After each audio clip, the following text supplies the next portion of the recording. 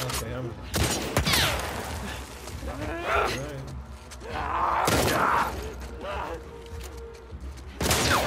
Manny! You can kill him now. Manny!